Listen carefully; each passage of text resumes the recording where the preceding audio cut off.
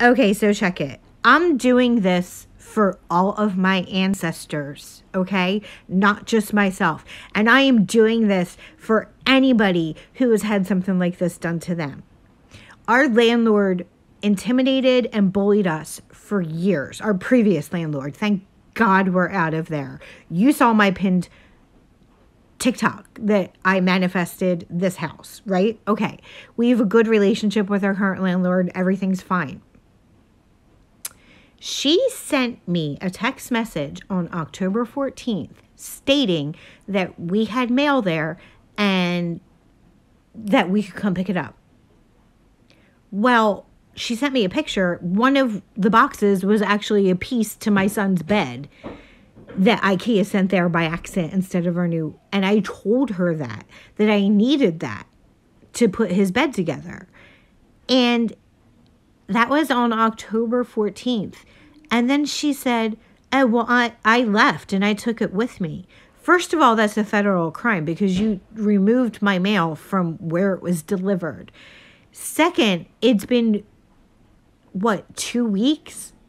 I have been emailing her, where is, where can I pick up my mail? When can I pick up my mail? I need that. I need to put my son's bed together.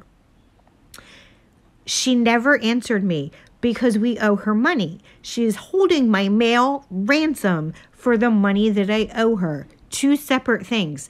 Guess what? The money I owe her is a civil offense. Guess what? The mail of mine that she took, that's a federal offense. I just reported her to the postmaster general because what she did, she has my mail, my election ballots in PA for me and my husband, at least two packages and at least a stack of mail. And now she's saying that she's going to return it to the post office over two weeks later.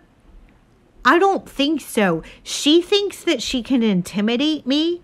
She can't do that anymore because I don't rent from her anymore and I'm stronger than her and I'm more protected than her. She can't hurt me anymore. Bitch is gonna get another thing coming when she gets a phone call from the U.S. Postmaster General Office or whatever because she committed mail fraud and election fraud because she's a Trumper and she knows that we're anti Trump. And she took my mail and probably fucking used my ballot. Don't fuck with me.